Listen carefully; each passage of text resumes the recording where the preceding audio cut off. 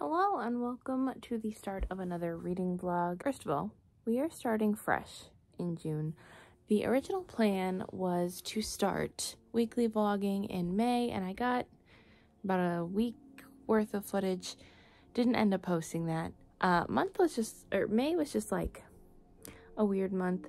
Um, so we are starting over. We are starting with weekly vlogging in June we are have some really fun cool themes that, that we're going to be working with in june specifically. Yeah it's going to be a great time. May was a weird month. First of all i'm starting this vlog a little early uh, just just so you know when i actually do start getting to reading there are no questions. I am introducing this vlog a couple of days early and then i'm actually going to start reading on friday because i have the day off and that if I get everything done that I want to get done, that will be a prime reading day. Yeah, May was a weird month. Um, but so I'm very excited to start vlogging. I'm very excited to start reading again because I haven't gotten a lot of reading done lately. Don't get me wrong, May was still a pretty decent reading month. I did get a decent amount of books that I wanted to get read read, but not not everything and I didn't read nearly as much as I wanted. But we're starting fresh, we're starting over. I'm very excited to start the month out, hopefully on a bang. If you watched my June TBR, you will know that I let my fiance pick my books for the month. And they were not very kind. I love my fiance with my whole heart. They are the absolute love of my life, known them for more than half of my life at this point, but they are uh, they like to challenge me. They like to keep me on my toes. They like to make sure I am on top of my game at every aspect. And they love to challenge me. They gave me a pretty hard TBR this month. I'm going to be attempting to read all of the books that, well, most of the books that they gave me for my June TBR in one week. It is six books in seven days. There are two books that I will not be featuring in this vlog, and those are Gideon the Ninth. This one is because this will be featured in the next vlog. So the vlog that will be coming out after this one because it is a themed vlog. Um, and this just happens to fit in with the theme. So this was the book that I ended up unwrapping from my unwrapped project that they ended up picking out for me. So we won't be including that one and and Lord of the Rings. So this one is obviously I'm not going to finish the entire three book series in a single week. If I counted correctly, the entire book is split up into 63 chapters. There are 30 days in June, meaning if I read two chapters a day with a couple of days having like three chapters, then I will be set to finish it in June within the month. So this will be like interspliced into vlogs. You'll be getting like periodical updates on this, but I, am not aiming to finish that in a week. That's just not going to happen. So what am I going to be reading? You're probably asking yourself, well, if you watched my June TBR, you probably already know that. Um, but in this vlog, I will be reading Fairy Tail Rhodonite. This is a side story in the Fairy Tail universe. Dungeon Party, which is a book that I got in Boston for Benson once upon a time because this sounded like it was something that would be right up their alley. The Bone Ships, which is something I got for me, but I think Benson also wants to read and they've been anxiously waiting, awaiting my review of this, so obviously I have to get to it. Pestilence, which is a romance that I've been wanting to get to for quite a while. Uh, Oddity, which will be be my reread for the month, and then a book that I have downstairs, which is Council of Mirrors, being the last in the Sisters Grimm series. So I'll be trying to read six books in seven days. I have no doubt in my mind that I can finish two of these within a single day, uh, that being Council of Mirrors and obviously the Fairy Tail Rhodonite. Everything else is going to be a stretch. Uh, so with this being like my first weekly vlog, this will also be one of two last weeks in you know of school. So I'm I'm intrigued to see how this vlog will go. Actually no, this will be by the time I actually start like filming this video or yeah, actually filming like my reading process of this video, it will be like the last full week of school.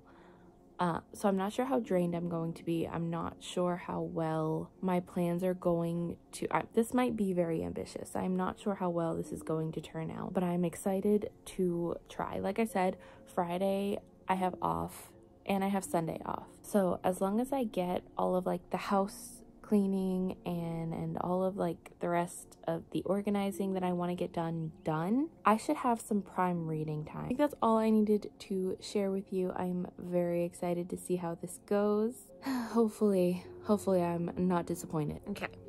It's Friday and technically the official start of this vlog.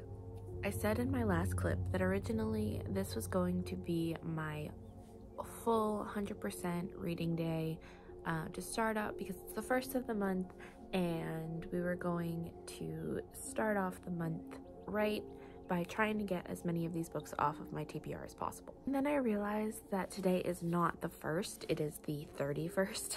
Um, so June hasn't officially started yet. However, today's still going to be my reading day. Any book that I finish today will just count for my, you know, count towards my June reading, towards my June wrap up. Um, I'm very eager to start these books, and today is really the only day that I have that I can comfortably just sit around and read all day. With that being said, I do have some chores around the house that I do have to get done at some point today, but I have an audiobook on standby. I can't get any of that done though until Benson wakes up and they're still asleep. So until they wake up, I'm going to be making a decent amount of progress, or as much progress as I can, in Pestilence. I don't think I fully explained what this is about, other than it is about the this whole series uh, follows the four horsemen of the apocalypse and their romance stories. So this is Pestilence, and in this one we follow Sarah, who is a firefighter, and she takes it upon herself, or she's chosen within her group to try and kill Pestilence. She doesn't realize is Pestilence cannot die and others before her have tried and now he's pissed. He's very pissed off and he decides to take it upon himself to hold her accountable and make an example of her um, by making her come along his journey with her. But obviously things are not always what they seem. Everything's not so black and white, and uh, pretty soon they start to realize they might be growing attached to each other. I've heard a lot of um, iffy things on on this series as a whole, uh, so I'm very excited to see what I think about it. I've been eagerly awaiting finally reading this book, so we'll see what I think of it.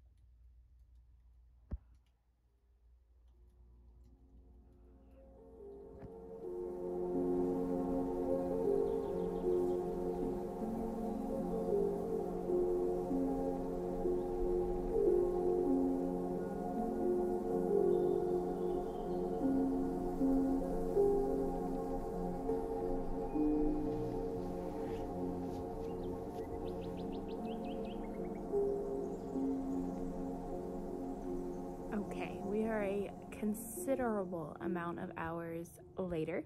Um, I have definitely been reading, but I have also been extremely productive. Not that um, reading isn't productive, but um, I really did need to get my room sorted out. Uh, I really had all like week to do it, but work was just so stressy and blah, blah, blah, blah, blah. I have started Pestilence and I got about 60, actually, I got exactly 70 pages into Pestilence, uh, but I'm not going to update you on this right now because I feel like I still have I have a considerable amount left before I feel like I'll really get a grasp for what the story is. Um, but I do want to talk about the audiobook that I said that I had on standby because I have finished it. I have finished my reread for the month, which was Oddity by Eli Brown. This one I it was only like three hours and 40-ish minutes at double speed. I did start and finish this. Now this is one that I read two-ish years ago. I can't remember if I, yeah, I think two-ish years ago. Um, and I enjoyed it then. Wasn't sure if I was ever going to reread it or if I even wanted to keep it on my shelves. Um, but I did. And I'm very much glad I reread it. I think it was really interesting. And I think this solidified the fact that I do want to keep it on my shelves and reread it again because I listened to it on audio, though, I didn't get like the full experience. All through it, there are illustrations all throughout it. Um, first of all, I should probably explain what this is about. We were following Clover, who her entire life is told that oddities are dangerous. Oddities being like, for example, um, a teapot that never empties, that's always filled, or like an ice hook that is always cold. Um, little things like that. And she's always been told that these things are dangerous, that they killed her mother, um, and that she needs to stay away from them. Until her father dies in front of her and he tasks her to protect the only oddity that he has ever deemed necessary. Um, and she is sent on this wild adventure to figure out what the heck is going on and why. I really enjoyed this. I think it was a fun story. Definitely not a five star. Uh, I think it's still solidified as a four star. It's officially maintained its place on my shelf. So I'm glad that I reread this. I'm glad that I kept it and gave it a second chance because it will be will be staying and hopefully it will get a considerable amount of rereads because I love this cover. I do have a little bit more organizing and cleaning that I have to do today and Benson has to go to work for a couple of hours soon. Uh, so actually not even, I don't even have that much, just like literally a little bit. There are a couple piles downstairs that I would like to figure out what to do with, uh, but that's really it. And then I can spend the rest of my night cleaning or the rest of my night, my night reading. Uh, I might, I might continue on with Pestilence tonight or I might I might get the manga on my TBR out of the way and just get through that because that would be pretty easy and quick and it'll make a good dent in my June TBR already because that'll be two books down, which is amazing. Now, the bad thing about finishing Oddity so quickly is I don't have an audiobook for the rest of the month.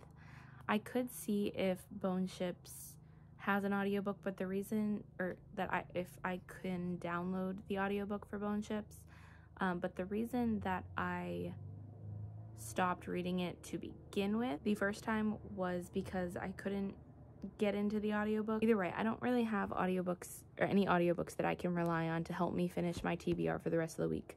So I will be trying to read five books, including Fairy Tail Rhodonite, physically in one week see how that goes.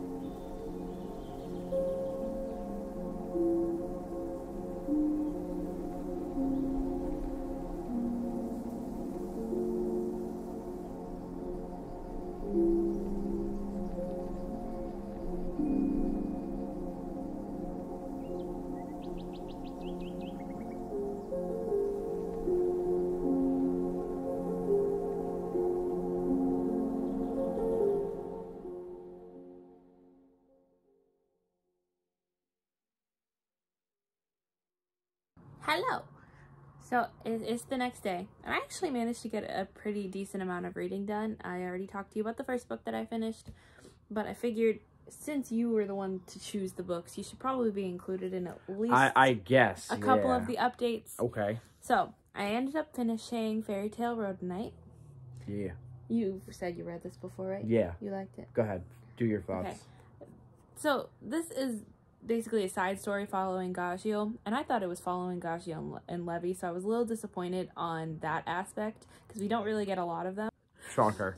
Um, after recent events in the anime that we've gone through, yeah. I yeah, yeah, but I still really enjoyed this. I do love Gajeel as a character. Um, still definitely not a five star, probably closer to like a four, four point five. Shocker. Um, and like there's two different stories following God in here, and the second one oddly made me ship him and Cobra a little bit. What? Yeah, You're fucking I, I weird. ship it a little bit. Stop it. I ship it. Stop it. I'm okay with That's it. That's weird. I'm just saying. If I wasn't, you know, if I didn't dead set have my heart set on him and Levy, I might ship it a little bit. Am I wrong? I'm not gonna say anything. Exactly. I'm, you're just fucking weird. And then I got about half. AIDS! Actually, it's not AIDS. Syphilis. My apologies. it's not syphilis either. I got halfway through pestilence, and Sounds close enough. first of all, we did discover an answer to your syphilis question. And what's the answer? He controls disease. Yes, I know so he gets to control who he does and does not. he controls who does and does not get if the sex diseases. if the sex is bad, boom, syphilis. Um, You ever heard of hate fucking? Well, this got taken to a new level. so it's actually not as spicy as I thought it was Damn. going to be. Like that, we've gotten one like intense build up scene, but even that wasn't really like that intense. I don't know why I thought this was going to be a lot spicier than I thought, but I'm actually kind of glad that it's not because the way this book is set up, we have the potential for a Stockholm situ like syndrome situation Oh. because he kidnaps her. Oh. Well, he doesn't like kidnaps her, but it, like he takes her prisoner after she tries to kill him. That's so weird. Yeah, well, she does ki- end up killing him, but uh, she doesn't realize that like he do- he can't die. Mm-hmm. Uh, so he ends up using her, like taking her hostage at, to set an example on But why you shouldn't is try weird. to. It has the potential for Stockholm syndrome, but it's actually not. not. Okay. So like that's what I was really worried about when I first started reading it and like actually figured out what the premise was about. But she still very much like sticks to her like sticks to her guns and you can tell like he's way more interested in her than she is in him. Hmm. That being said, the writing in this isn't good. like this isn't the most groundbreaking romance I've ever read. This isn't the best story. Our character is very like she's a little cringy and she's very much like set to be like that quirky uh main female character. It's not good. It's not groundbreaking. It's not what I look for in a romance, but I'm still having so much fun with it. Like I'm actually rooting. I'm not really I'm not sure that I'm really rooting for the romance, but I am rooting for Pestilence as a character. Is that all? I think so. Okay. Yeah, I think that that's really all I have to say. But he does not give her syphilis. Yet. There's still time. There's still plenty of time. You know this for a fact. I do know it for a fact. Can't wait to see what happens next. Great stuff. Yeah. Okay, is that it? Yeah, I think so. I think that's it. I'm like I said, I'm really enjoying this. I'm having fun with it. But it's not the best thing I've ever read. So I'm a little disappointed in that aspect. So right now I think it's feeling like a three star. Okay. Still a good pick. Syphilis. No syphilis. All right. Syphilis. Why are you obsessed with syphilis? and syphilis? gonorrhea, baby. Why are you Penis AIDS. why are you obsessed with syphilis? It's funny. Honey, is there something you need to tell me? No, it's just funny as hell. Okay. All right. Say bye to the viewers. Syphilis. Okay.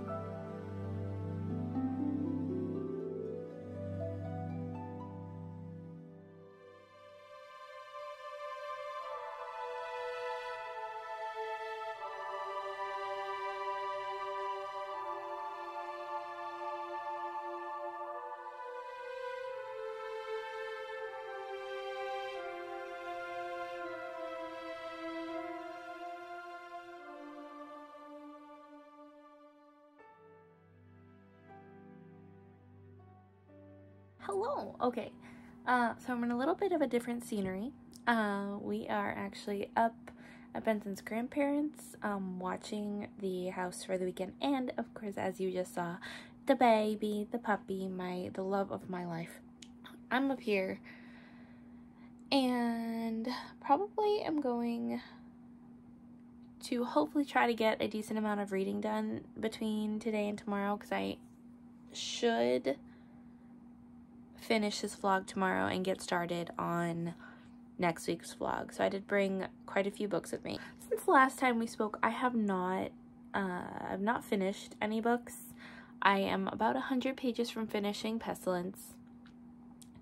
And I've got even less than that of Sisters Grimm. I have started the last book in the Sisters Grimm series, which is A Bittersweet Feeling. Um, I've got, like I said, probably less than 100 pages left. I didn't bring Council of Mirrors with me, um, only because I didn't think, I didn't think it was practical to bring like a whole book for something that like I'm going to finish within an hour. So instead, I downloaded the ebook so that I could finish it on my Kindle while I'm up here. And then I brought Pestilence, which I'm hoping to finish tonight. I'm hoping to get, you know, two books out of the way tonight. And then tomorrow, I brought Dungeon Party with me to at least start that. I don't think I'm going to finish that in this vlog unless I can read, somehow perform a miracle and read a 400 page book in a day. Don't think that's going to happen, but at least I will have started it and made some decent progress on my June TBR.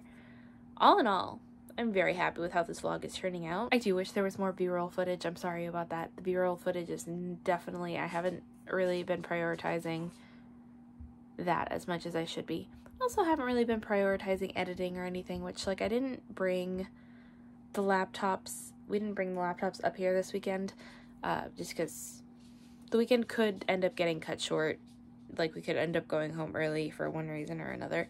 Um, so, yeah, those are the plans for the next two days. We're going to see how much reading your girl can get done. Uh, and I don't think Benson is coming up tonight. Um, as of right now, probably not. So I think I just have the house to myself with the dog and we're just chilling.